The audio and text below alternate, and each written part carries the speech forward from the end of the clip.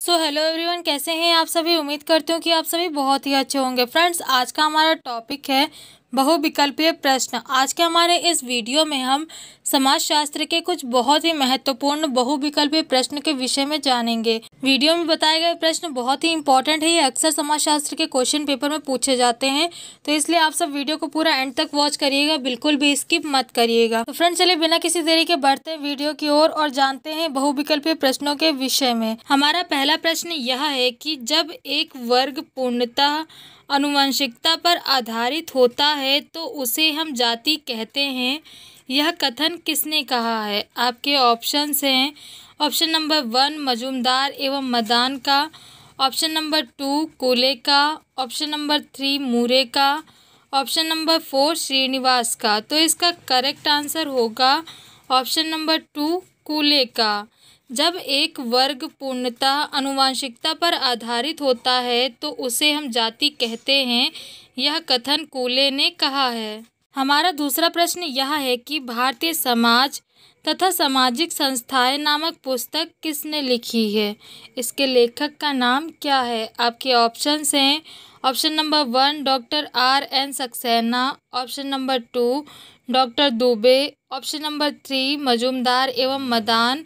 Option number four Iravati Karve. तो इसका सही आंसर होगा option number one, doctor R N Saxena, भारतीय समाज तथा सामाजिक संस्थाएँ नामक पुस्तक के लेखक का नाम डॉक्टर आर एन सक्सेना है। हमारा तीसरा प्रश्न यह है कि निम्नलिखित में से किसने जाति को एक विस्तृत नातेदारी समूह माना है?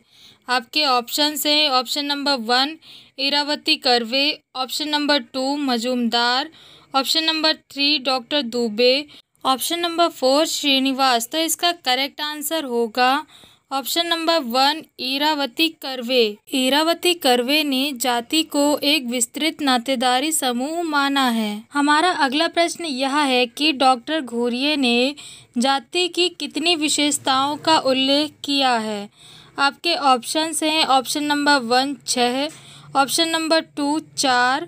ऑप्शन नंबर थ्री तीन।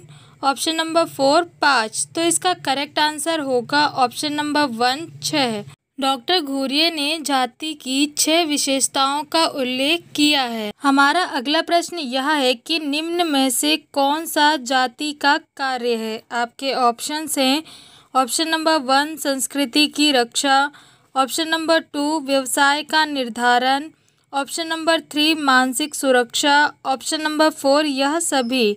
तो इसका करेक्ट आंसर होगा ऑप्शन नंबर फोर, यह सभी। ये सभी जाति के कार्य हैं। हमारा अगला प्रश्न यह है कि जाति के कारण भारत में एक बहु समाज स्थिर रह पाए, यह कथन किसका है? आपके ऑप्शंस हैं। Option number one, Iravati Karve का, ऑप्शन नंबर टू, हट्टन का, ऑप्शन नंबर थ्री, फार्नीवाल का, ऑप्शन नंबर फोर, रिजले का। तो इसका करेक्ट आंसर होगा ऑप्शन नंबर थ्री, फार्नीवाल का। जाति के कारण भारत में एक बहु समाज स्थिर रह पाए हैं, यह कथन फार्निवाल का है। हमारा अगला प्रश्न यह है कि जाति की उत्पत्ति का उल्लेख किस वेद के पुरुष सूक्त में किया गया है? आपके ऑप्शन हैं। Option number one Rigveda. Option number two Samaveda. Option number three Yajurveda. Option number four Atharvaveda. तो इसका करेक्ट आंसर होगा ऑप्शन नंबर वन ऋग्वेद, जाति की उत्पत्ति का उल्लेख ऋग्वेद के पुरुष सूक्त में किया गया है। हमारा अगला प्रश्न यह है कि जिस व्यवस्था में जातियाँ परस्पर एक दूसरे की सेवा करती हैं, उस प्रथा को क्या कहते हैं? आपके ऑप्शन हैं ऑप्शन नंबर वन जजमानी प्रथा ऑप्शन नंबर टू जातीय बंधन ऑप्शन नंबर थ्री पारस्परिक सिद्धांत ऑप्शन नंबर फोर संस्कृतिकरण। तो इसका करेक्ट आंसर होगा जजमानी। जिस व्यवस्था में जातियाँ परस्पर एक दूसरे की सेवा करती हैं, उस प्रथा को जजमानी प्रथा कहा जाता है। हमारा अगला प्रश्न यह है कि मनुष्य एक सामाजिक प्राणी है, परंतु अधिक स्पष्टता वह एक वर्ग प्राणी है, यह कथन किसका है? आपके ऑप्शंस हैं ऑप्शन नंबर वन मार्क्स का ऑप्शन नंबर टू अरस्तु का ऑप्शन नंबर थ्री, लेनिन का। ऑप्शन नंबर फोर, स्टैलिन का। तो इसका करेक्ट आंसर होगा ऑप्शन नंबर वन, मार्क्स का। मनुष्य एक सामाजिक प्राणी है, परंतु अधिक स्पष्टता वह एक वर्ग प्राणी है, यह कथन मार्क्स ने कहा है। हमारा अगला प्रश्न यह है कि निम्न में से कौन सा कारक जाति प्रथा में परिवर्तन के लिए उत्तरदायी नहीं है? आपके ऑप्शन हैं ऑप्शन नंबर वन प्रजातंत्र ऑप्शन नंबर टू स्त्री शिक्षा में वृद्धि ऑप्शन नंबर थ्री स्वतंत्र आंदोलन ऑप्शन नंबर फोर मानव का चंद्रमा पर पहुँचना। तो इसका करेक्ट आंसर होगा ऑप्शन नंबर फोर मानव का चंद्रमा पर पहुँचना। इन सभी में मानव का चंद्रमा पर पहुँचना, यह कारक जाति प्रथा में परिवर्तन के लिए उत्तरदायी नहीं है। हमारा अगला प्रश्न यह है कि व्यवसाय और केवल व्यवसाय ही जाति प्रथा की उत्पत्ति के लिए उत्तरदायी है, यह मत किसका है? आपके ऑप्शन हैं। ऑप्शन नंबर वन नेस्फील्ड का। ऑप्शन नंबर टू रिजले का। Option number three Max Weber का। ऑप्शन नंबर फोर, मार्क्स का। तो इसका करेक्ट आंसर होगा ऑप्शन नंबर वन नेस्फील्ड का।